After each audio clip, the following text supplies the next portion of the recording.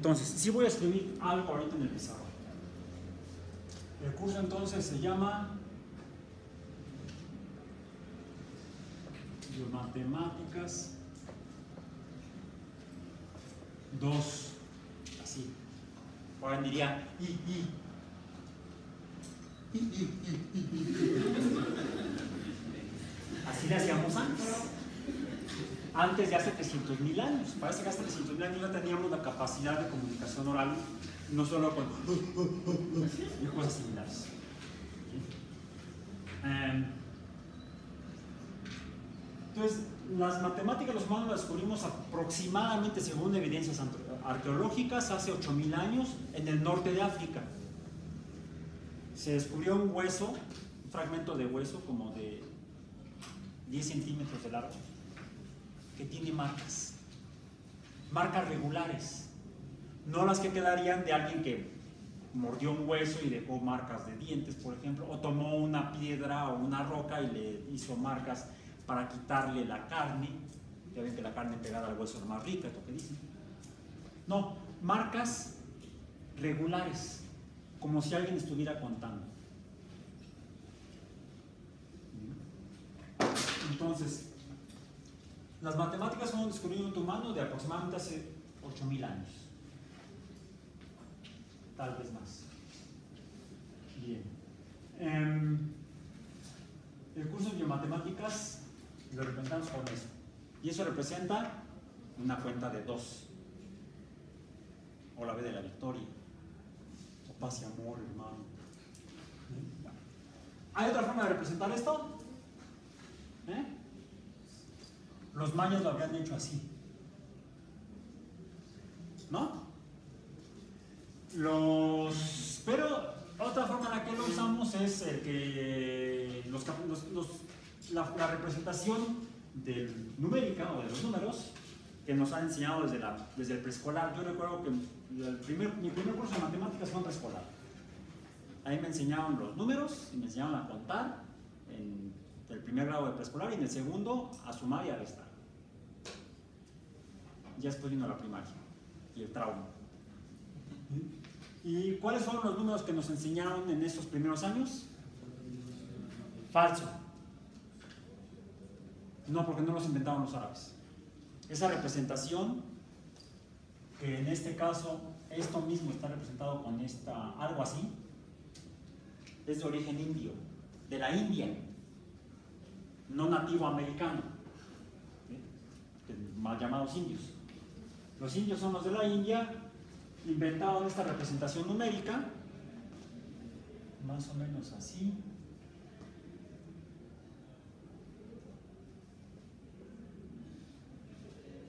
Bueno, varía, históricamente han variado un poco. Estoy tratando de hacerlo lo más parecido a lo que lo hacían los indios. Y el más grande invento de los indios, o descubrimiento, también de los mayas. ¿Dónde lo pongo? Acá, como origen. Es más, no tendría que ser así. Bueno, el, de los indios es así, es muy, muy redondo, muy circular. Actualmente lo hacemos más bien oval, para distinguirlo de la letra O que representa nada. O el origen. También lo concibieron los árabes, pero y luego nos quieren hacer sentir orgullosos a los mexicanos de que ah, nuestros ancestros mayas descubrieron el cero. La matemática ya estaba muy avanzada. Fue una gran aportación a la cultura maya. Porque no pasó de ahí. El cero que manejamos, el cero que manejan los maestros de matemáticas en las escuelas para las calificaciones de los alumnos, viene de la cultura india, llevada a Europa por los árabes, eso sí, los árabes fueron los que llevaban la matemática india al resto del mundo. Y de ahí los europeos a América, porque la cultura maya ya había desaparecido cuando llegaron los europeos a América. Ya la cultura maya había decaído y el conocimiento matemático hecho por los antiguos mayas ya no lo conocían los mayas del siglo XV. Tuvo que ser redescubierto en el siglo XX. Entonces, sí fue un gran descubrimiento para los mayas, pero que no tuvo trascendencia en el resto de la humanidad. Y además, sí, hay que aplaudírselos a ellos, bravo, bravo, bravo por ellos. Y los mexicanos, bien gracias. nuestro cero viene de la cultura de la guerra. Entonces, cada cosa en su lugar. ¿Correcto? Debemos sentirnos orgullosos de lo que hacemos, no de lo que hicieron otros. Eso andar saludando con sombrero ajeno no es muy, muy, muy, útil a la larga finalmente. Bueno, ok. Entonces, ¿por qué un curso de biomatemáticas en las licenciaturas de biología e hidrobiología en la UAM, palabra? Como biólogos necesitan matemáticas. ¿Para qué? ¿Y qué matemáticas necesitan? Porque las matemáticas es todo lo, todo lo relacionado con la, las matemáticas. Finalmente, esto de aquí, lo podemos ver como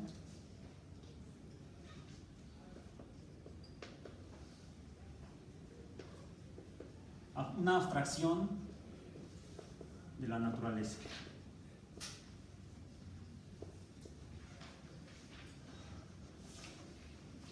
Esto representa nada, o el origen.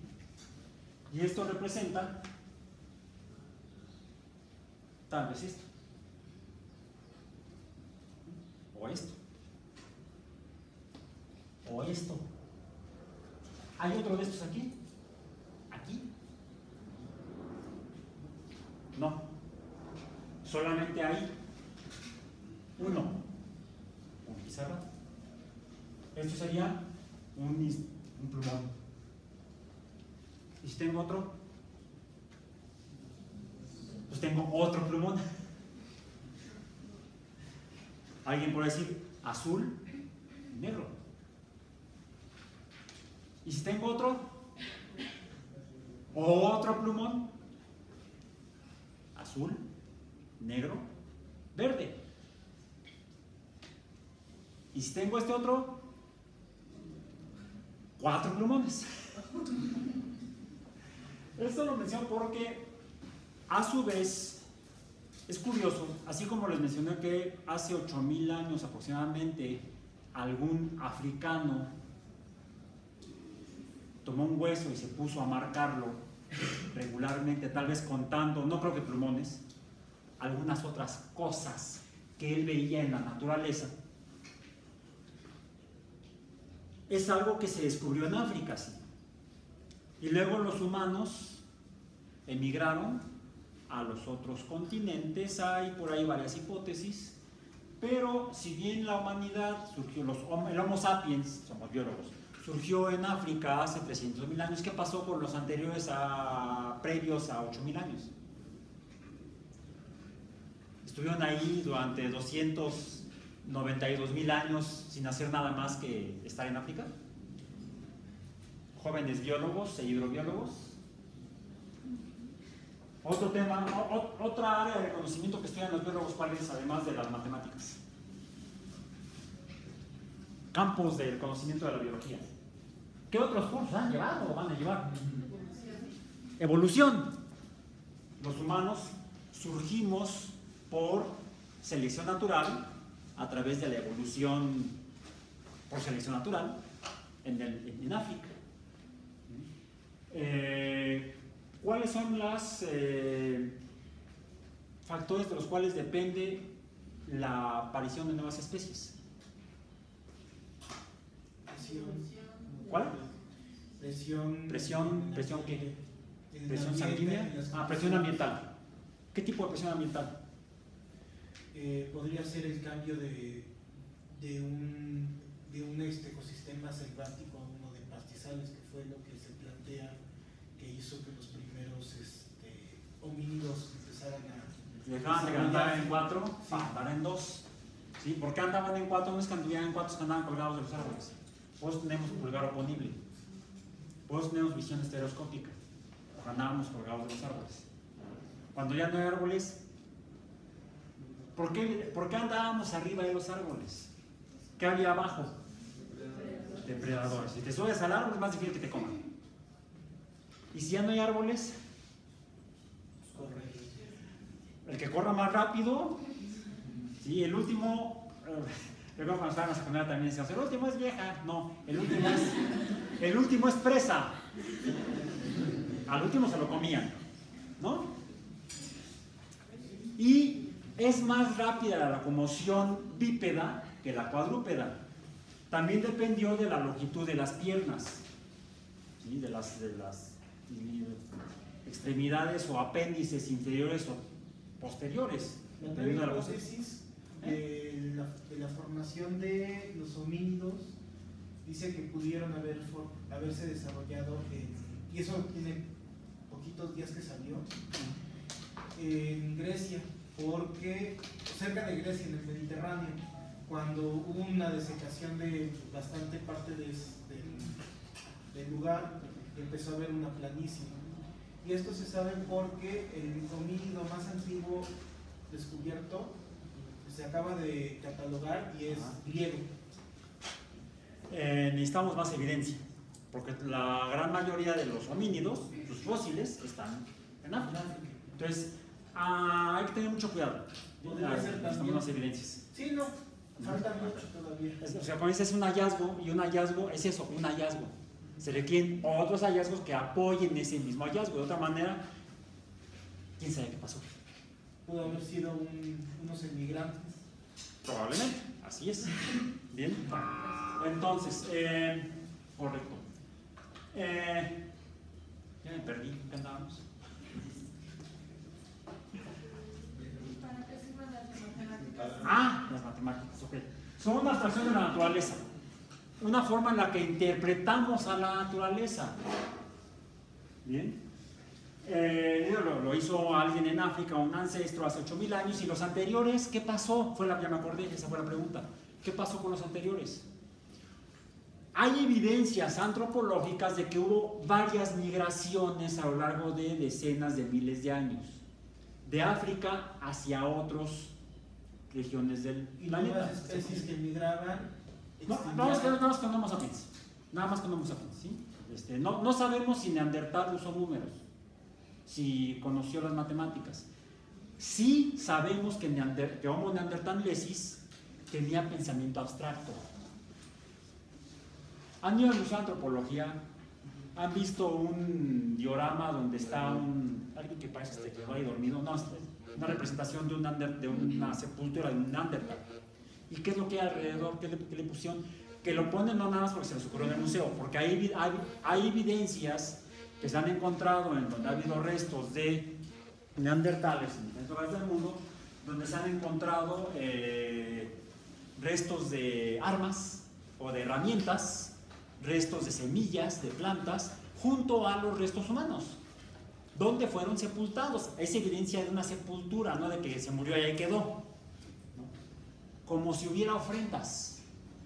Es decir, parece que ya los neandertal, igual que los antiguos Homo sapiens, previos a Cromañón, porque Cromañón estrictamente es europeo, por eso es Cromañón, este, digamos, el Homo sapiens antiguo también se han encontrado eh, restos con evidencia de que fueron sepultados y alrededor de ellos lo que podríamos interpretar como ofrendas. En otras palabras, había pensamiento abstracto que ya les parecería que suponían que habría algo como lo que muchos creen todavía, vida después de la muerte. ¿Para qué ponerle comida a alguien que ya se murió? Ah, que va a seguir comiendo en el más allá. Pues que glotón. Por eso se murió. Decía mi mamá, de limpios y dragones están yendo los panteones. Bien. Entonces, eh, esa capacidad de abstracción ya la sabían otros homínidos, en Homo, en Homo, en y sabemos que en Homo sapiens antiguo. Eh, y hay evidencias de, que hubo migraciones previas a hace 8000 años. Es previas a la evidencia que tenemos del descubrimiento de los números en África. Migraciones, por ejemplo, a Oceanía. Los nativos de Oceanía, a los que algunos llaman aborígenes australianos, ser de piel oscura, cabello rizado. ¿eh? ¿Qué creen? No tienen matemáticas. Sí, actualmente la usan después de que los colonizaron los británicos en el siglo XIX, o creo que en el siglo XVIII, no recuerdo exactamente, pero fueron los europeos los que introdujeron las matemáticas en el continente eh, de Oceanía, en Australia, porque los australianos no conocían las matemáticas. ¿Y entonces cómo le hacían? Para poder medir. Los números nos permiten medir, por ejemplo, cantidad de cosas. Si alguien le preguntaba a un hombre africano, adulto, con una familia, y le preguntaba, todavía actualmente les pregunta a, algunos nativos ya entrados en años, ¿cuántos hijos tienen? Le responden con los nombres. Fulano, Mengano, Perengano y Sutano. Tengo, tengo estos hijos. Fulano, Mengano, Perengano y Sutano. No dicen cuatro. No tienen el concepto de número. ¿Cuándo fue la emigración de África a Oceanía? ¿No saben? Yo tampoco. No, no, me acuerdo, no me acuerdo, de alguna cosa no leí. Y voy a hacer aquí un paréntesis.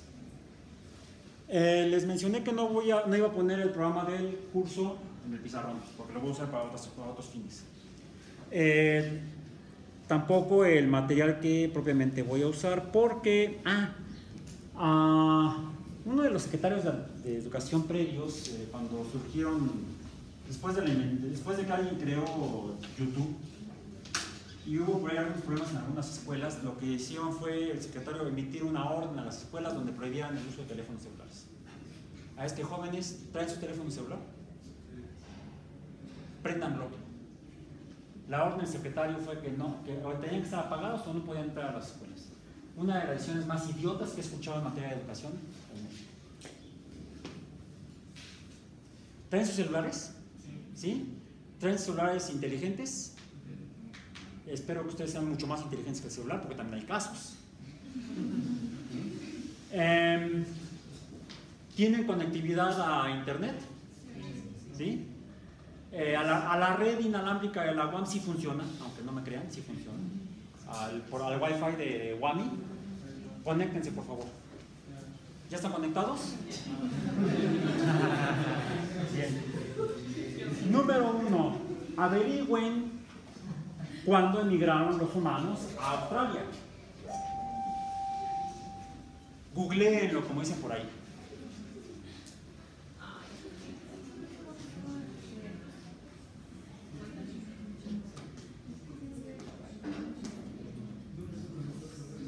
¿Ya lo encontraron? ¿No? Ah, se apagó. Hay contactos, traigan su cargador siempre, hay contactos y si no traigan una pila de repuesto. Una pila portátil. ¿Ya lo encontraron el dato?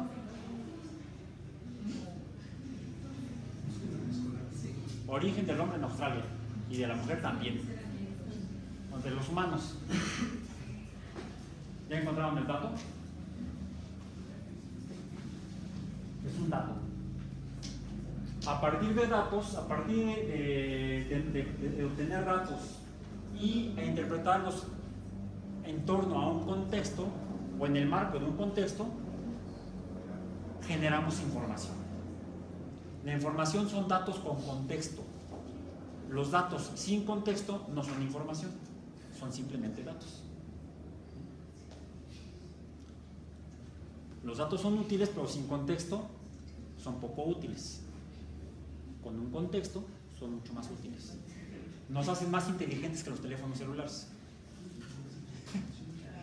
Los teléfonos celulares o los dispositivos de conexión a las redes informáticas nos dan acceso a datos y nosotros los convertimos en información. ¿Ya encontraron el dato? Origen de los humanos en Australia.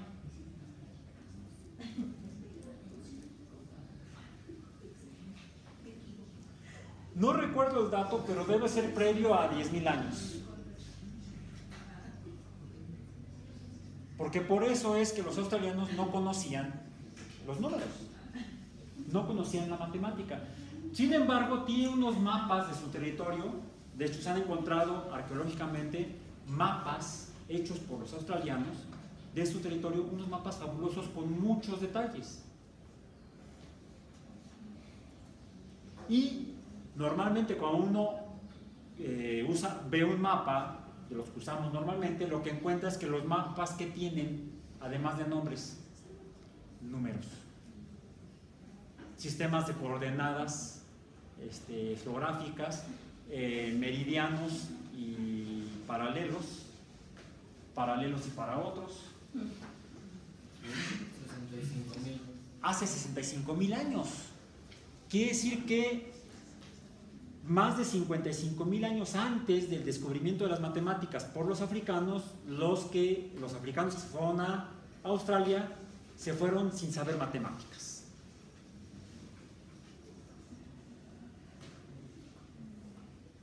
Eso es interesante, porque como biólogos, algunos biólogos están interesados en conocer la vida, las bases de la vida y la forma en que se origina y se transforma la vida, no solamente en la Tierra, sino en el universo, al menos en la Vía Láctea, al menos en nuestra galaxia, tal vez en el universo. De ahí el concepto de astrobiología o la biología astronómica o la biología en el espacio, la vida en el espacio. Eh, y quienes estudian eso, de hecho han enviado hasta mensajes al espacio, tanto por métodos electromagnéticos, señales de radio, como en instrumentos, en naves espaciales, al menos en cuatro naves espaciales, las dos Pioneer 10 y 11 y las dos Voyager 1 y 2, donde pusieron unas placas metálicas con indicaciones de quiénes las enviamos, los humanos, desde dónde, desde la Tierra, desde dónde, en el sistema solar, en la Vía Láctea. Y están escritas en lenguaje matemático. Los astrobiólogos que enviaron esas naves supone que cualquier ser vivo inteligente debería desarrollar la abstracción de la naturaleza llamada matemáticas. Tenemos una evidencia antropológica y arqueológica en la Tierra de que eso no es regla. Puede haber seres inteligentes, porque son tan inteligentes los australianos y eran tan inteligentes los, australianos, los africanos que emigraron a Australia hace 65 mil años, tan inteligentes como nosotros. Porque la capacidad craneana, al menos en volumen, no ha cambiado en 300.000 años. Los fósiles de Homo sapiens de hace 300.000 años tienen exactamente la misma, es más, tienen una capacidad craneana mayor que la que tenemos actualmente, en promedio, los Homo sapiens vivientes. Entonces, aunque tenemos capacidad de abstracción, no todos abstraen a la naturaleza de la misma manera. Los australianos lo hicieron a través de representaciones de los objetos en el territorio. Representan valles, ríos, montañas, otros organismos en sus mapas. Y sí, incluso longitudes, que la longitud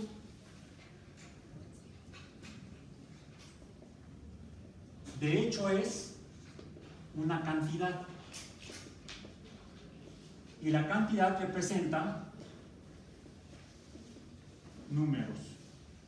Por lo tanto, representa matemática. La longitud se puede representar de manera matemática, pero también se puede representar de manera no matemática, de manera gráfica, a través del el largo de una línea, por ejemplo. ¿Qué tan lejos está? Pues así de largo o así de largo. Es como les decía yo, ¿cuántos plumones hay aquí? Rojo, azul, eh, negro y verde.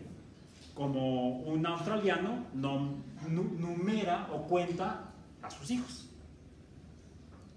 Fue en África y luego en Mesopotamia donde se desarrollaron las matemáticas que actualmente usamos y las posteriores se desarrollaron en Mesopotamia y la cuenca del Mediterráneo, ya que mencionabas el Mediterráneo precisamente. ¿bien? Donde fueron los, eh, si bien los africanos fueron los que consiguieron el número en ese hueso, el lugar se llama Ishango, creo. Se me fue el nombre. El lugar en África donde encontraron ese hueso.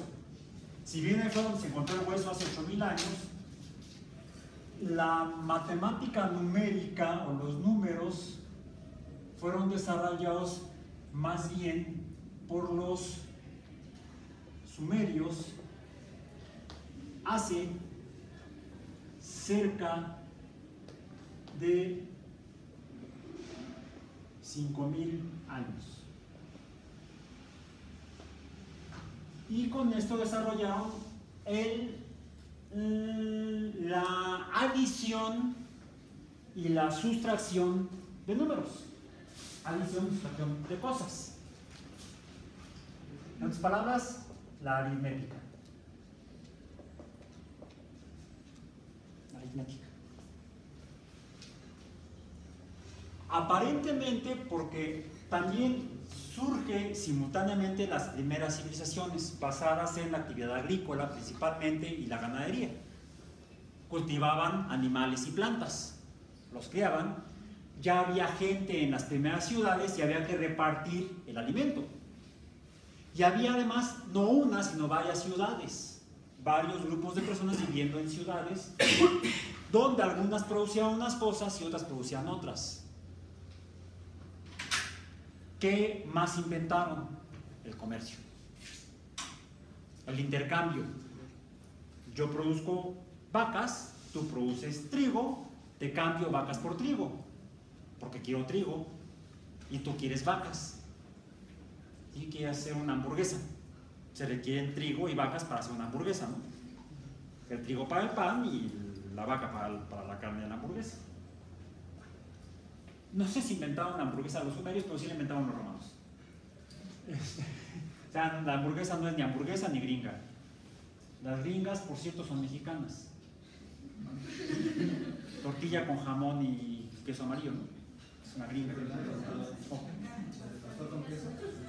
Eso ya no es. Eso era una pocha más que no sé. No sé. Las gringas originales no llevaban pastor. Dame pastor. Pastor protestante tal vez.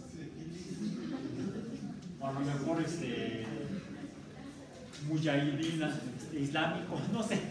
Ok, bien. Entonces la aritmética la inventaban los sumerios al mismo tiempo que inventaban la civilización, el comercio, y para comerciar requerían aritmética hacer adiciones y sustracciones de cuánto me das, cuánto te doy. Bien. Eh, la evidencia es arqueológica en tablillas de arcilla. Qué bueno que ha habido avances en la humanidad, ¿no? Imagínense traer sus cuadernos en, tablillas de arcilla. Profesor, no puedo traer mi tarea, se me rompió en el camino. Se me cayó y se rompió la tarea. Afortunadamente los chinos inventaban el papel. Aunque también hay el problema que, no sé si les ha pasado, este, que llega alguien y dice, es que no pude traer la tarea porque se la comió mi perro. Bueno, a veces, a lo mejor mm, es poco, poco, poco probable que suceda, pero ya me ha sucedido que no les puedo regresar sus exámenes porque los comen mis gatos. ya ha pasado. ok, bueno. Afortunadamente inventamos los documentos electrónicos. Eso no se los comen los gatos. Pero sí les caen virus. Virus electrónicos. Entonces toda la información es El comercio. Hubo otra cosa que también inventaron, sabemos que está la evidencia en tablillas de arcilla. Los sumerios, aunque la evidencia más antigua no es de los sumerios, es de los babilonios, que son posteriores a los sumerios, todos ellos vivieron sumerios y babilonios junto con los asirios en Mesopotamia.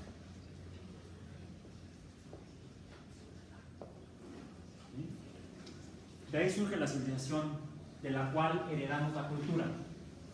Si las culturas prehispánicas son muy importantes, pero realmente no trascendieron en el globo. Si tenemos mucha herencia, afortunadamente, bueno, no tanta porque otros la quemaron.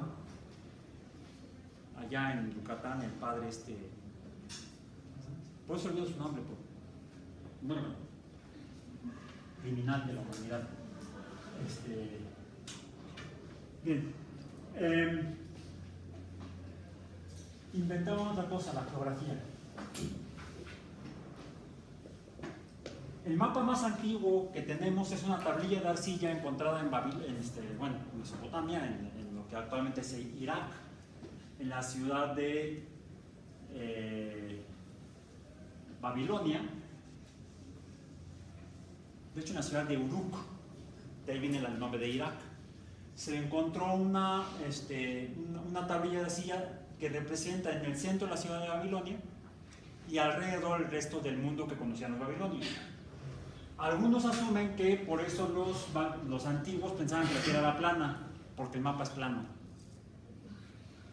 No, pues una tablilla de arcilla es plana. Y la cosmología, la cosmología babilónica ni siquiera es geocéntrica. Era como que todo estaba junto, dando vueltas todo alrededor de todo. Era una cosmología muy este, cosmopolita, vamos a decir no era geocéntrica. La, el geocentrismo lo, lo, planteó formalmente Aristóteles, varios miles de años después. Entonces, desarrolla la geografía para conocer su territorio, quizá por las actividades agrícolas. Pues hay que medir los terrenos para saber cuánta cebada vamos a cultivar si somos tantos habitantes. ¿Qué implica? Aritmética. Y de la geografía y de la aritmética surge la ¿qué? geometría, la medición de la Tierra. Metrón. Estos nombres no vienen de origen sumerio, ni babilonio, ni asirio, sino son griegos. Metría viene de metrón, medida en griego. Y geo viene de la diosa madre de la humanidad, Gea, la tierra eh, esposa de Urano. Luego, este, esto es una, algo muy divertido, yo creo. Este, la cosmogonía griega. Por ahí luego Gea se deja Urano y se va con, con Saturno. Bueno, no era Saturno, era Cronos. Entonces, eh, bien, esto, vamos a dejar aparte de la metodología. Eh, la geometría es la misión de la Tierra. Es decir, se requiere conocer el terreno y medirlo de alguna manera con números. Con los números ya desarrollados por los sumerios, que los números desarrollados por los sumerios eran conitos de barro. De los conitos de barro se desarrolla luego la representación con cuñas, con palitos clavados en la, en la arcilla para representar la escritura cuneiforme o con cuñas, que es con lo que escribían los sumerios, los babilonios y los asirios. De ahí otras civilizaciones posteriores, los egipcios por ejemplo, hacen sus propias representaciones de números, letras y palabras. Posteriormente vienen los fenicios, los eh, griegos y la cultura que heredamos viene principalmente de Grecia y de la India. ¿Bien? Aquí tenemos en medio esto colado entre los griegos y los, eh, eh, y los indios, que son cuáles? ¿Esta representación de dónde viene? Roma, de los romanos. Los cuales heredan, invaden Grecia, conquistan a los griegos militarmente, pero los griegos conquistan culturalmente a los romanos. La cultura romana es básicamente griega, solo que en latín ya no en griego. Por eso se llama Saturno y no Cronos. Eh, entonces, y esta es la representación romana de los números. Finalmente, esta la, se sigue desarrollando durante todo el imperio romano. e incluso posterior a la caída del Imperio Romano alrededor del año 450 de nuestra era. Entre 415 420, el Imperio Romano va cayendo poco a poco, se va desmoronando, no fue de un día para otro. Si bien Roma no se construyó en un día, tampoco se destruyó en un día. Bueno. em, ok. Geometría. A través de la aritmética y la geometría, los mesopotámicos, vamos a decir, y los mediterráneos, en particular los griegos, desarrollan la matemática que usamos hasta el advenimiento de la cultura india por los árabes a partir del año 700 aproximadamente y hasta el 1200 más o menos. Más o menos. Del 700 al 1200 la cultura árabe avanza en matemáticas.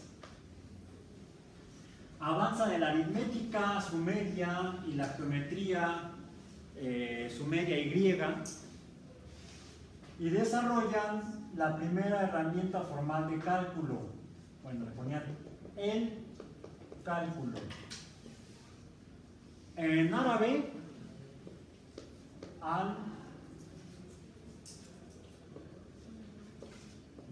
Creo que se escribe así. Por ahora no estoy equivocado. ¿Le suena? El cálculo.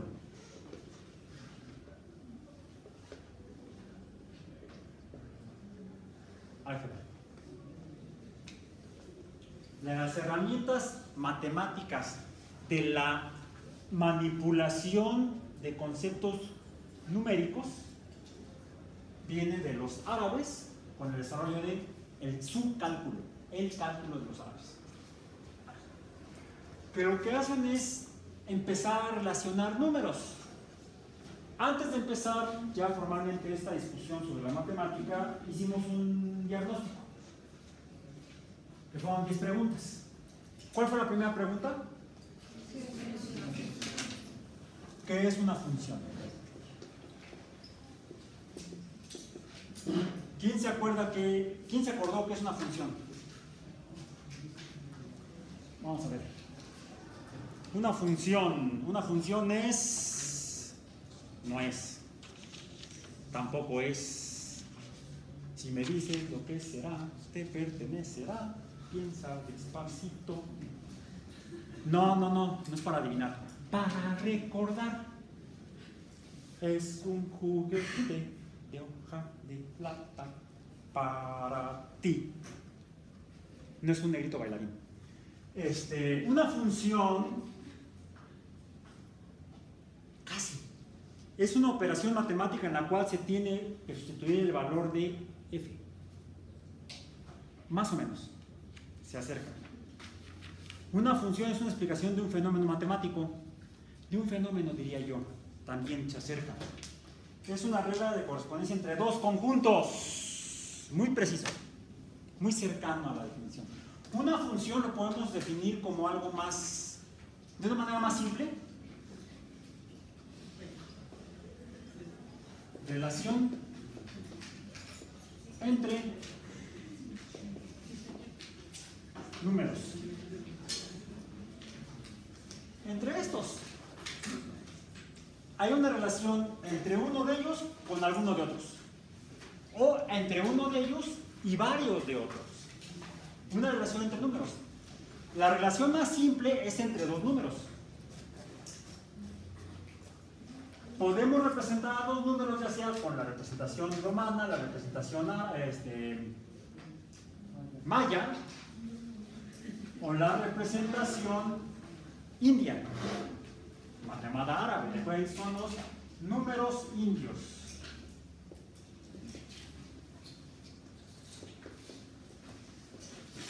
Números indios. Ok. Entonces, lo que vimos en la evaluación es, a ver, eh, rápidamente, ¿quiénes no se acordaban que es una función? Levanten la mano, no hay, no hay problema. Muchos. Eh, ejemplos de las funciones. ¿Quién se acordó de una? ¿De dos? ¿De tres? ¿De cuatro? ¿De cinco? ¿De seis? Bueno, se acordaban de algunas funciones, pero no se acordaban que era una función. Eh, el curso, ya dijimos en el programa, el voy a poner aquí brevemente, solamente brevemente lo voy a poner. Biomatemáticas 2 incluye límite de función. Em, ¿Qué más? Decíamos eh, derivada de función e integral de función. ¿Eso qué es? Es lo que quiero llegar ahorita. Entonces, los árabes desarrollaron el cálculo o álgebra. El, álgebra nos permite de concebir la función, la relación entre números. Decimos, la- podemos representar, decía yo, podemos representar los números de otra manera. Ya no con la representación romana, ni con la maya, ni con la árabe, o bueno, india, recordemos, sino que puedo representar estos números indios o cualquier número, lo puedo representar con letras. Pueden ser letras A, B, C, X, Y, Z, las letras del alfabeto eh, latino. A ver si latino. Bien. A las letras que conozco, les puedo llamar las letras que representan números conocidos. Números conocidos que no cambian, números constantes, por eso no cambian. Los puedo representar con A, B, C, con las primeras letras del alfabeto. A los números desconocidos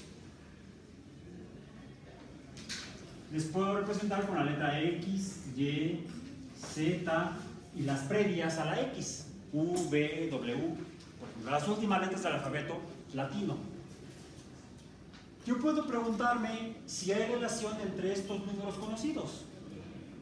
Si A tiene alguna relación con B o los números desconocidos. Si X tiene alguna relación con Y. El estudio de estas relaciones lo hago mediante álgebra. Acento en la A. Bien, álgebra. Desarrollada por los árabes entre el siglo VIII y el siglo XIII de nuestra era. Em, déjenme ver. Ok. Bien. Em, pero la matemática no se quedó aquí, no se quedó en el siglo XIII. La cultura romana cae en el alrededor del siglo V de nuestra era. Por ahí del año 450, les digo, los historiadores marcan el fin del imperio romano. Y el inicio en Europa de lo que se ha llamado la Edad Media o la Edad Oscura, el oscurantismo, donde sí mucho el conocimiento previo de las civilizaciones, de la civilización griega, de las mesopotámicas, en Europa casi desapareció. Al ser invadida Roma por pueblos que venían del norte de Europa, les decían bárbaros, cuando, como si los romanos fueran unas almas de Dios, también eran bastante bárbaros. O eso andar poniendo gente en un estadio que se lo coman los leones, pues no es así como que muy amable, ¿no? Tal vez sí para los leones. O no sé si también para los rotarios. Eh, un chiste cultural. Mal chiste cultural. Bueno, em, cae el Imperio Romano, se pierde gran parte de la cultura que venía de, la, de, Mesopotamia y de Grecia, incluso del norte de África, de, la cultura egipcia. Egipto, de hecho, también es conquistado por los griegos, por Alejandro Magno. Y de ahí nace la cultura helénica o de la Grecia clásica. De hecho, era, no solamente era griega, también tenía influencia egipcia. Fue una cultura muy rica. Fue cuando descubrimos, cuando, cuando descubrimos y medimos a la Tierra como una esfera de 40.000 kilómetros de, de, circunferencia. Lo hizo eh, Eratóstenes eh, aproximadamente por ahí del año 250 antes de nuestra era. Matemáticas, matemáticas, geometría, midió la Tierra. El primer gran geómetra fue precisamente Eratóstenes. Él midió la Tierra. Arquímedes luego midió la masa de la Tierra con base en los números de Eratóstenes. Em, bueno, de cae, el Imperio Romano, se, se pierde mucho el conocimiento previo, pero algo rescatan. ¿Qué hay en el año 450 en Europa? En el norte de África, en el este, en, el cercano oriente. Se, se ha estado construyendo una nueva cultura en esos 400 años previos a la caída del Imperio Romano. De hecho, en parte por eso, quizá por eso cae el Imperio Romano. Después de que Constantino hace oficial una nueva religión para los romanos. Dejan de ser politeístas, de rezarle a Zeus y empiezan a rezarle a otro barbudo. Bueno, lo pintan barbudo algunos. Otros dicen que era lampiño. El cristianismo. El cristianismo se desarrolla en los primeros cuatro siglos de nuestra era. Y circunstancial o casualmente, conforme eh, se impone el cristianismo, decae la cultura clásica helénica se pierde mucho de ello en, la cuenca del Mediterráneo, sobre todo en Europa, pero parte es rescatado por algunos monjes cristianos. Es en los monasterios, principalmente donde se conserva el conocimiento de las matemáticas. Hay otra cosa que se mide además de la Tierra con las matemáticas. ¿Qué otra cosa se mide en la, Tierra? Digo, ¿qué otra cosa se mide?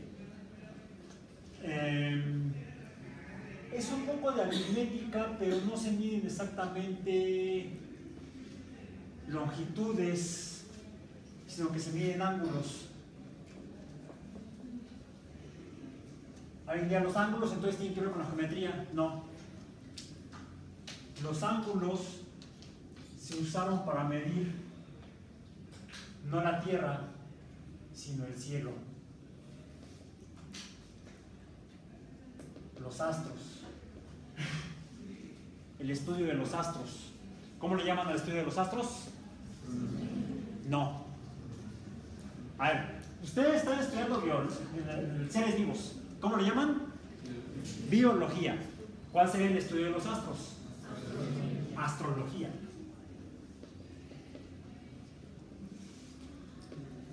Los sumerios fundan la astrología como el estudio y medición de los astros en el cielo las distancias a las que se encuentran unas estrellas de otras. Incluso hacen abstracciones y generan patrones de estrellas, esquemas de estrellas. A esas les llaman conjuntos de estrellas o constelaciones.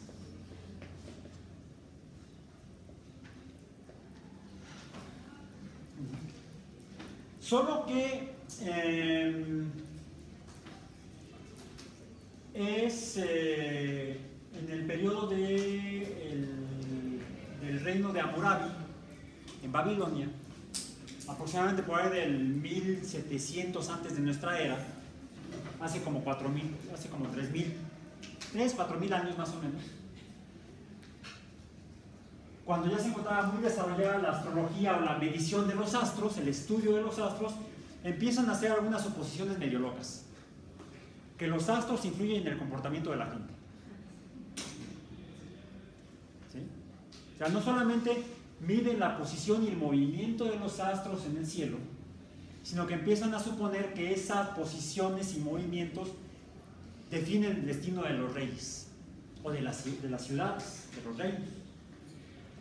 Entonces, la astrología se convierte en una mezcla de conocimiento matemático muy preciso y algo complejo, no es muy sencillo, pero con cuidado se puede entender, pero también conocimiento mágico.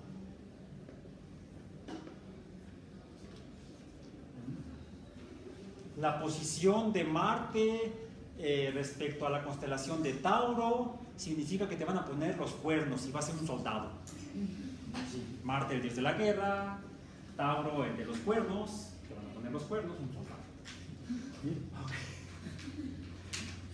Eso, eso es, pensamiento mágico. Entonces la astrología se convierte en una mezcla de pensamiento racional y no tan racional. Esa astrología eh, como forma de conocer el, mundo en su conjunto, se incluso logran predecir ya eclipses de sol y de luna, los, sumerios, y los predicen incluso con cientos y miles de años de anticipación, porque empiezan a encontrar patrones de movimiento en los astros y coincidencias en esos movimientos.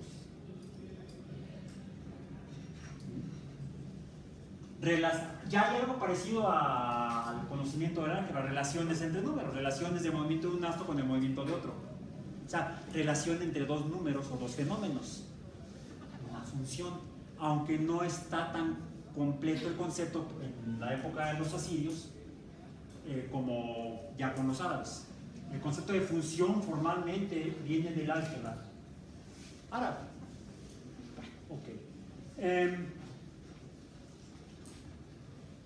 esto mete mucho ruido, el pensamiento mágico en la astrología. Así la heredan los griegos, así la heredan los romanos, así la heredan los egipcios, Así la heredan los europeos una vez que cae el imperio romano.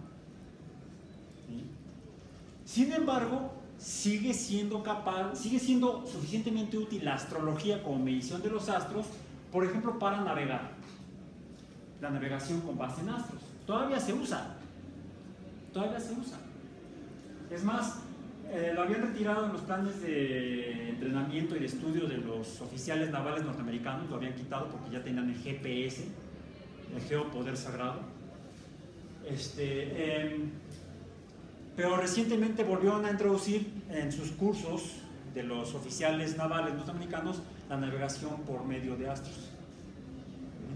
De hecho, son los árabes los que desarrollan, eh, al enriquecer la matemática con el álgebra, eh, inventan el astrolabio, que es un instrumento para medir ángulos de estrellas con mayor precisión y navegar con mayor precisión. Es tan eficiente la astrología para las predicciones y navegar que le permite a Cristóbal Colón en 1492 atravesar el Atlántico.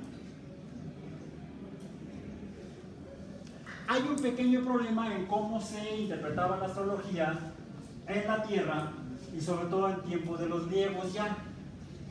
Mencioné yo que los babilonios asumían un cosmos eh, como integrado. Es Aristóteles el que plantea que el cosmos es geocéntrico, la Tierra está en el centro, somos el ombligo del universo y todo gira alrededor nuestro.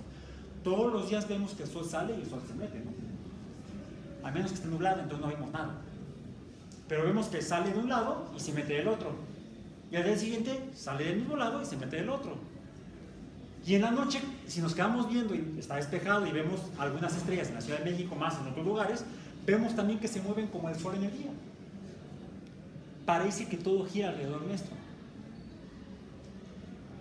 Esa impresión fue la que sistematizó Aristóteles y dejó como herencia en la cultura griega para el resto de Europa. por los siguientes 1500 años. ¿Cuándo descubrió Colón América? A ponerlo con rojo. Colón, Cristóbal Colón. Colón usa entonces la astrología, la geometría, para descubrir, bueno, para navegar. Las matemáticas son necesarias para navegar. Tenemos ¿Quiénes están estudiando hidrobiología? Uno, dos, tres, cuatro. ¿Qué hace un hidrobiólogo? ¿Qué estudia un hidrobiólogo? ¿Cuál es la diferencia con los demás biólogos? Que se la pasan en el agua. No. ¿Qué es la hidrobiología? Es el estudio de los sistemas biológicos acuáticos. Sí, pueden ser lacustres, pero también son marinos.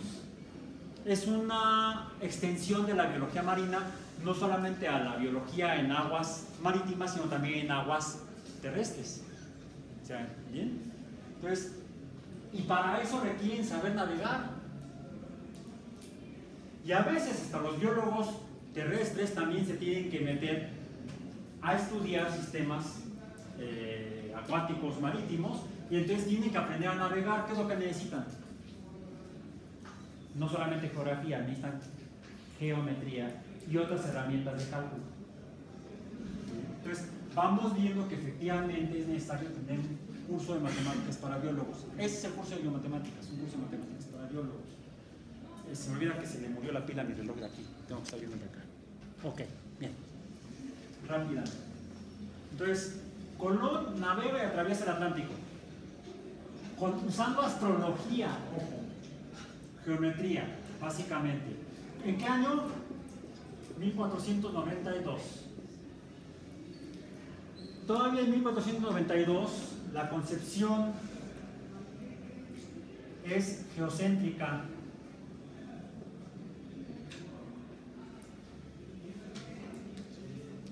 El geocentrismo dije que lo planteó ¿quién? Aristóteles.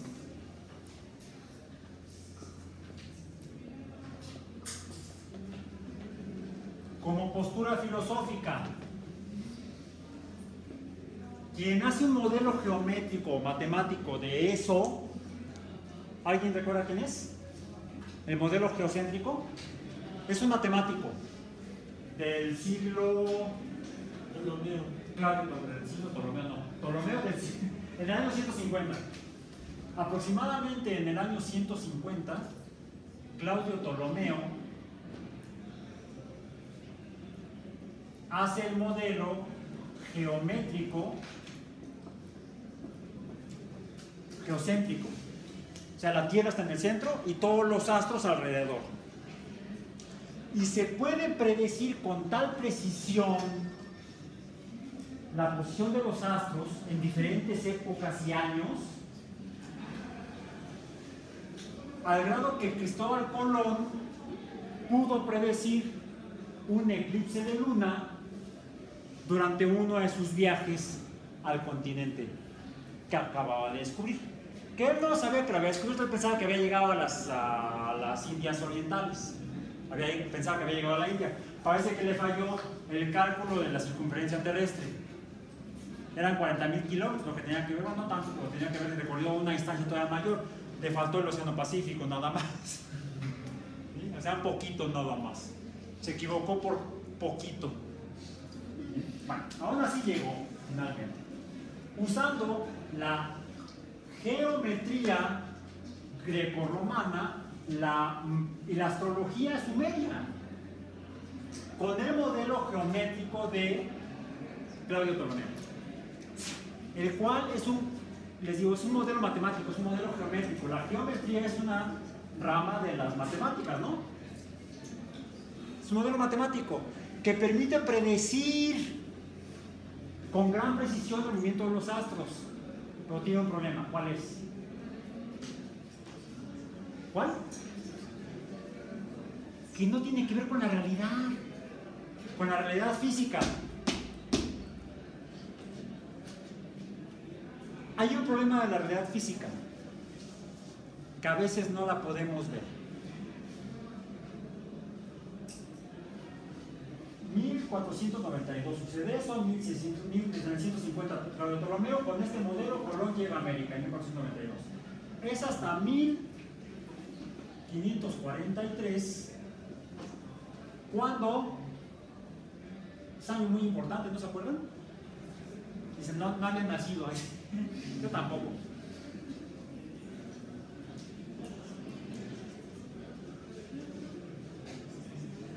Nicolás Copérnico. ¿Qué hizo Copérnico? Se murió en 1543. Tres meses antes de morir, y después de 30 años de trabajo, o sea, si, se van a, si van a escribir un libro, apúrense, no les vaya a pasar como a Copérnico. Tres, años, tres meses antes de morir, salió de la imprenta sobre las revoluciones. Que es un modelo geométrico, pero heliocéntrico. el Sol está en el centro y la Tierra se mueve alrededor del Sol. No le creyeron. ¿Por qué? Copérnico era astrólogo. Todavía Copérnico es astrólogo. Todavía en el siglo XVI la astrología es la disciplina que se cultiva para conocer el cielo, medir el movimiento de los astros y predecir eventos o posiciones. Poder navegar. ¿Bien? ¿Por qué no le creen a Copérnico que la Tierra está en el centro? Porque toda la gente lo que ve es que el Sol sale, sube, se mete y al día siguiente hace lo mismo y las estrellas también. Lo que dice Copérnico es que eso es solamente aparente. Él dice casi a la letra, es, un movimiento aparente porque lo que realmente se mueve es la Tierra. ¿Ustedes sienten que la Tierra se mueva? Alguien diría, sí, el otro día se movió y mucho. No, no como sismos. No, no es el tipo de movimiento, no. ¿A qué movimiento se refiere Copérnico? La Tierra, ya sabíamos desde los griegos, desde antes, desde los uh, sumerios, que es una esfera, pero no es una esfera estática, es una esfera que está rotando. A ver, párense, pónganse de pie. Sin miedo, no se van a caer. O no sé. Miren al frente. ¿Ya están mirando al frente? Ahora comiencen a rotar. Háganlo, háganlo. ¿Qué es lo que ven? ¿Qué es lo que ven? A ver, están viendo al frente, están viendo aquí las palabras, las letras, ah, el pizarrón, la pantalla, los plumones. ¿Qué sucede cuando empiezan ustedes a girar y es más, hagan así como lo estoy haciendo yo, o como lo hacen los, directores de cine. Hagan un campo de visión, pongan un campo de visión enfrente de sus ojos, de sus ojos. Y vean al frente y empiecen a rotar. ¿Qué es lo que ven? De la mano derecha, no, si rotan hacia su derecha, de la mano derecha hacia la mano izquierda se ve que las cosas pasan frente a este campo de visión hay un movimiento aparente de lo que está en los objetos enfrente de ustedes, hay un movimiento aparente en ese campo de visión. Se está moviendo de derecha a izquierda. ¿Qué es lo que vemos todos los días? Vemos que el sol se mueve de este a oeste. Hay dos posibilidades. Que efectivamente, ya se pueden sentar. Que efectivamente ya se pueden sentar, Que efectivamente es el Sol el que está girando alrededor nuestro, o, como otra hipótesis, ¿cuál es? Que nosotros en la Tierra estamos rotando y el movimiento del Sol es aparente, no es real. son hipótesis, es decir, posibles explicaciones. De hecho, a esta de Copérnico se le llama la hipótesis heliocéntrica. Es una, en 1543 es una hipótesis, una posible explicación no comprobada. Porque lo que todo el mundo veía, la evidencia era que el sol se mueve. Yo veo que se mueve. Sí, pero no será que a lo mejor eres tú el que se está moviendo y el sol está fijo respecto a tu posición. Había algunos que le decían a Copérnico que no le creían porque si la Tierra se está moviendo, yo al dejar caer un objeto, caería atrás. Y eso no sucede. Dejo caer un objeto y cae enfrente de mí. La Tierra está quieta, no se mueve. El experimento ahí está. Es lo que estoy viendo. Pero ¿y si se mueve? ¿Qué sucede?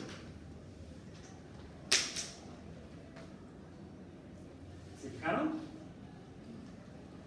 Respecto a ustedes, el plumón se movió en línea curva cuando, cuando solté. Pero respecto a mí, se cayó junto a mí. Yo lo vi caer en forma vertical. Son otras dos hipótesis. Bueno, tuvimos que esperar. Son muy buenos los números, por ejemplo, para los años. Eh, no crean que tengo tan buena memoria, lo que pasa es que son, son, son, son momentos, momentos cruciales en el desarrollo del conocimiento, en el desarrollo de la matemática y de la biología misma, de la ciencia.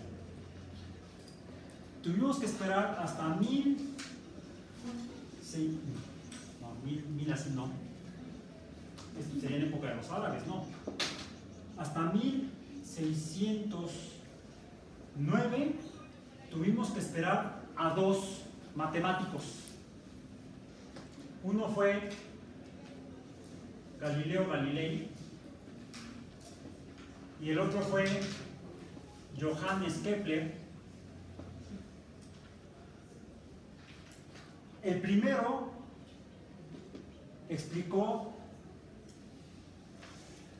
la caída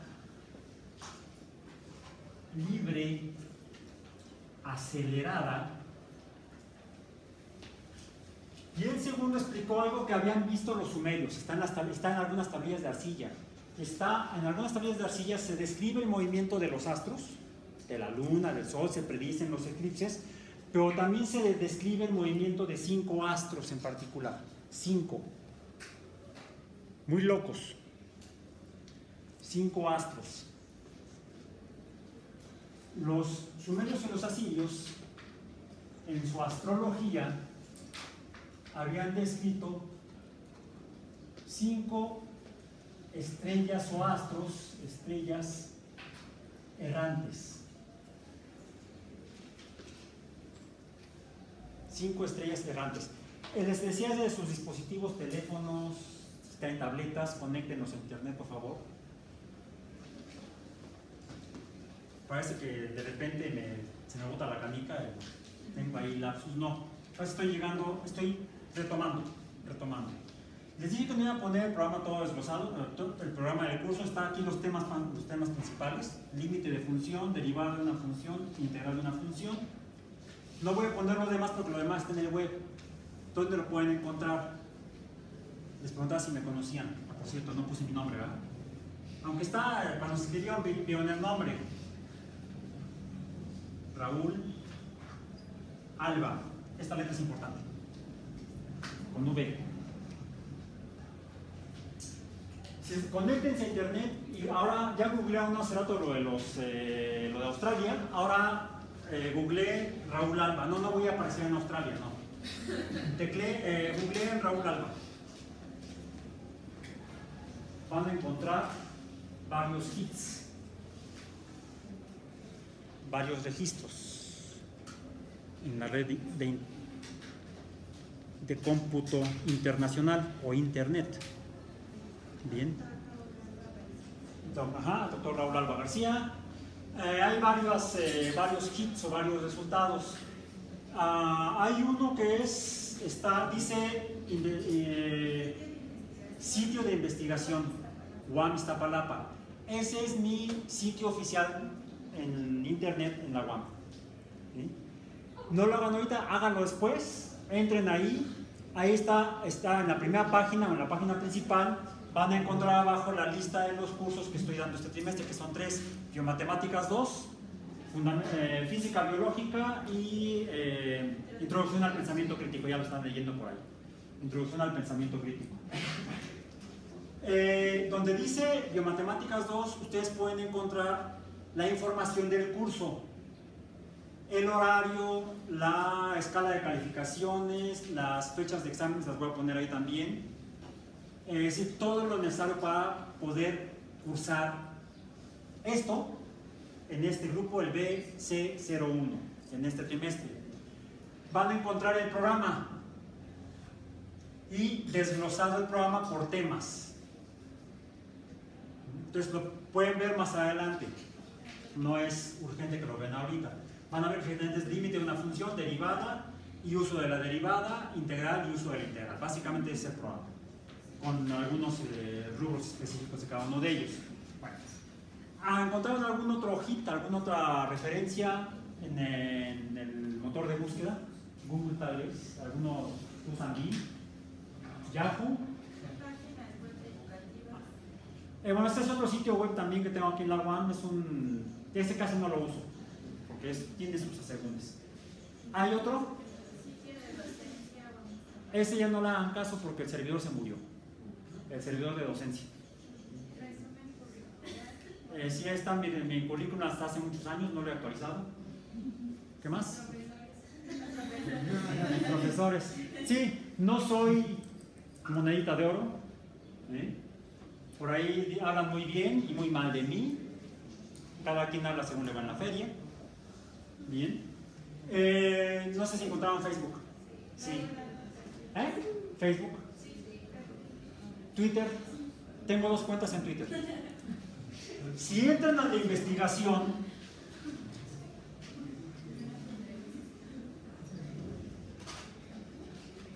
y de investigación entran a el de biomatemáticas 2, van a encontrar eh, una eh, línea del tiempo o timeline de Twitter. En la página de investigación van a encontrar otro. En la página de investigación van a encontrar la cuenta arroba este, Alba G. Raúl. Ese es mi Twitter personal, donde me peleo con el mundo. Si entran al de Matemáticas 2, el timeline que van a encontrar es el de arroba prof-raúl-alba. Este lo uso para las clases, para los cursos. Ahí pongo información sobre los cursos. ¿Cuál es el tema de hoy? ¿Cuál es el tema de mañana? Si a mañana hay examen, si me quedé atorado en el metro y ya no pude llegar. Por eso lo puse. De hecho, por eso abrí esa cuenta. Para avisarles. Eh, y digan, no, pues ya saben que vamos a desayunar, porque por eso no va a llegar. Este, ¿Ok? Bueno, este es para avisos del curso. Tal vez también encontraron ya entonces Facebook. En Facebook también lo uso para pelearme con el mundo. Ah, lo uso para la divulgación de la ciencia, básicamente. Pero van a encontrar un grupo de Facebook de Biomatemáticas 2, grupo BS01, trimestre 17O. Les sugiero que entren a ese grupo, que se incorporen a ese grupo, porque en ese grupo la ventaja de servicios como Facebook, así como Twitter me permite darles avisos casi en el momento, en tiempo real, lo que hacerlo en el sitio web es una monserga. Es muy engorroso administrar un sitio web y es muy lento. es más ágil usar los servicios de Internet 2.0 y hasta 3.0, ya, ya hay, que son, por ejemplo, eh, Twitter, Facebook, Instagram, etc. Bien, yo voy a manejar para este curso solamente dos, Twitter de Prof. Raúl Alba y Facebook. El grupo de, Biomatemáticas 2, trimestre 17O. Están los grupos de Facebook de los trimestres previos. Tengo desde, desde 2012 usándolo. O sea, ya son 5 años.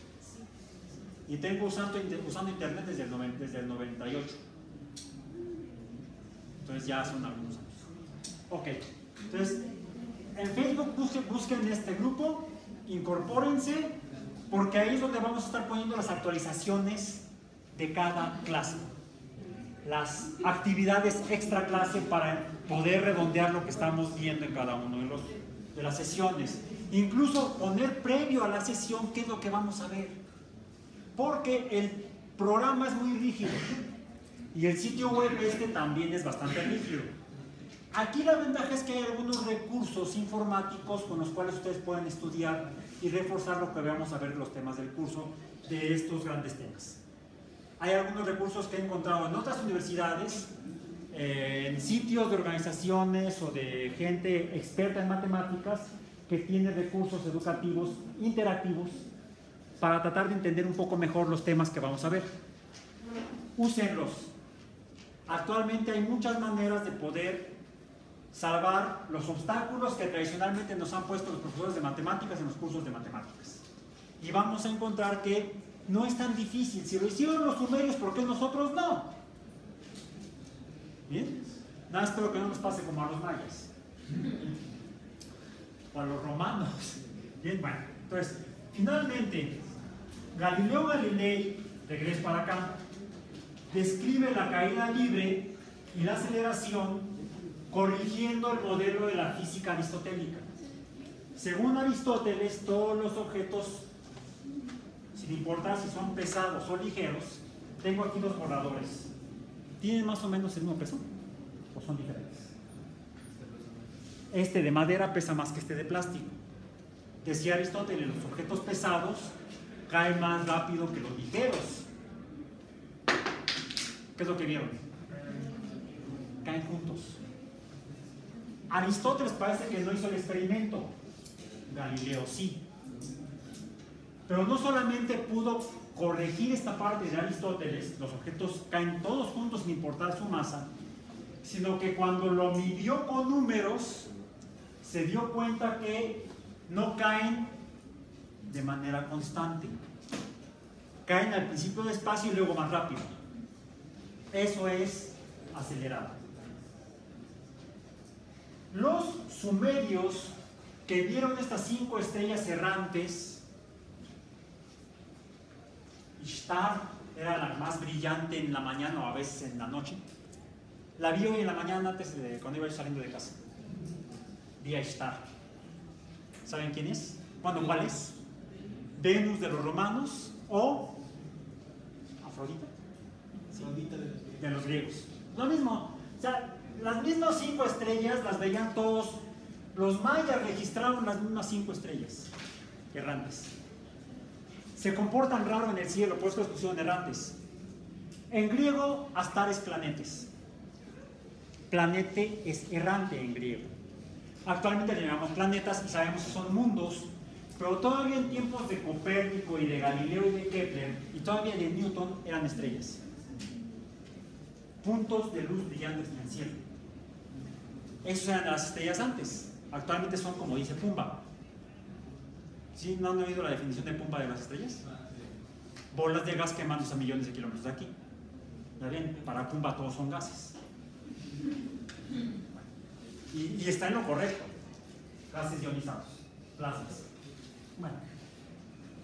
Los asirios, los sumerios, los babilonios, los griegos, Copérnico mismo, los, los astrólogos árabes observaron estas cinco estrellas moviéndose a lo largo del año en el cielo, pero con algo curioso. Todas las estrellas de las constelaciones se van moviendo parejitas a lo largo de la bóveda celeste a lo largo de todo el año. Pero hay cinco estrellas que se van moviendo, de repente se van deteniendo, se detienen, luego se regresan, se detienen y luego dicen, ah, caray, creo que era para allá. Y van otra vez. Por eso es que quizá los antiguos las imaginaban como seres que se movían en el cielo, de manera caprichosa. Deben ser dioses. Deben ser dioses. Bien. Bueno, lo que sí vemos es que su velocidad de movimiento varía. Eso es aceleración. Van moviéndose, luego se van deteniendo esta aceleración negativa, se van desacelerando, se detienen y luego se empiezan a mover primero despacio y luego más rápido. ¿Cómo dije? Primero despacio y luego más rápido. Como las cosas caen en la tierra. Bueno, eso que no pudieron entender ni explicar los asirios, ni los sumerios, ni los griegos, ni los romanos, lo pudo explicar Johannes Kepler. Los planetas o las estrellas errantes se mueven en órbitas alrededor del Sol, pero no como decía Copérnico. Copérnico decía que eran en círculos, en círculos perfectos. Ahí Copérnico, perdón, se equivocó. Estuvo en lo correcto, la Tierra se mueve, con dos movimientos, al menos de hecho son tres. Los importantes son la rotación y la traslación. Cuidado, no voy a trasladar eh, pero no se trasladan en órbitas o en revoluciones circulares. Kepler corrige a Copérnico y afirma que los planetas se mueven en órbitas elípticas. Número uno, primera ley de Kepler. Los planetas giran en torno al Sol en órbitas elípticas, estando el Sol ni siquiera en el centro, no es geocéntrico, no es heliocéntrico, no es heliocéntrico. El Sol no está en el centro de la elipse. Una elipse tiene tres puntos definidos adentro de la elipse. El centro, que es la distancia media entre el eje menor y el eje mayor, donde se cruzan ambos, es el centro de la elipse. Pero hay otros dos puntos importantes, ¿cuáles son? Los focos, no estos, no, esos no son focos, esos son lámparas. Los focos de la elipse. El Sol, el Sol no está en el centro, está en uno de los focos de la elipse. ¿Eso qué implica? Que las estrellas errantes o planetas que se mueven alrededor del Sol a veces están lejos y a veces están cerca. Le llamamos perihelio y afelio, cuando están cerca. ¿Y qué creen? La distancia a la que están se relaciona con esa diferente velocidad. Cuando están cerca del Sol, se mueven más rápido y cuando están lejos del Sol, se mueven más despacio. Cuando se acercan al Sol, van primero despacio y luego rápido. ¿Qué están haciendo? Están cayendo hacia el Sol, pero en una elipse. Afortunadamente, si no preocupense, ya que la Tierra caiga, sobre, caiga hacia el Sol, no en forma elíptica. ¿Bien? Bueno. Entonces, esa es la segunda ley de Kepler lo que explica es la velocidad orbital. La, segunda ley de Kepler es la, la velocidad orbital es acelerada. Pongámoslo así. Lo dice de otra manera, lo mide de otra manera, de hecho lo mide. Pero hay un pequeño problema, su medición no es exacta tiene error. Y es ahí donde surge la temática de nuestro curso. Ya finalmente llegué a donde yo quería. es un poco un recorrido histórico conceptual. Finalmente los conceptos matemáticos no son elucubraciones de alguien, no salieron de la manga, sino que es una construcción de conocimiento. Vamos apilando conocimientos y quitando el que está incorrecto. Corregimos a Aristóteles, corregimos a Ptolomeo, corregimos a Copérnico, Corregimos a Kepler, que no puede medir precisamente las, órbitas. Ya para terminar, nos quedan tres minutos. Me voy a tomar dos, les voy a dejar uno. Ah, ok. Em, en las órbitas, esas que se mueven, como dice Kepler, finalmente quien lo explica, ¿quién es? Isaac Newton en 1600, 1686, cuando publica los Principia. Título en latín, Filosofía, filosofía Naturalis Principia Matemática, o los principios matemáticos de la filosofía natural. Ahí, su conclusión final es, así se mueven los planetas. Y para decir así se mueven los planetas, desarrolla el cálculo que vamos a ver en el curso. Bien, bueno, para ilustrar un poco lo que vamos a ver en el curso, en el grupo de Facebook les voy a poner algunos materiales adicionales a los que están en el sitio web de investigación. Y es importante lo siguiente, y termino nada más con una pregunta, con dos preguntas, una afirmación, una instrucción y una pregunta. La instrucción es es importante que ustedes, antes de la siguiente clase, vean esos materiales para que lleguen con dudas y entonces puedan preguntar y no sea nada más como la sesión de hoy, un rollo medio infecto por parte del profesor. Eh, la siguiente es una pregunta ya para terminar. Ahora sí. Em, vimos los resultados de la evaluación. Del, de la evaluación autodiagnóstica. Ustedes mismos se diagnosticaban cómo, cómo, qué tanto se acuerdan de lo que necesitamos saber para poder, para entender lo que es el límite de una función, debemos recordar bien lo que es una función y qué tipos de funciones hay. ¿Qué nos dicen matemáticamente que las relaciones entre números? Para poder entonces entender a la derivada y a la integral de la función debemos hacer lo mismo. Pregunta, ¿quieren que nos, nos tomemos la primera semana para hacer un repaso de funciones o le entramos al límite? Hacemos el repaso. Bueno, pues la próxima clase que es el miércoles, comenzamos a hacer un repaso rápido de lo que son las funciones. Nos vemos el miércoles.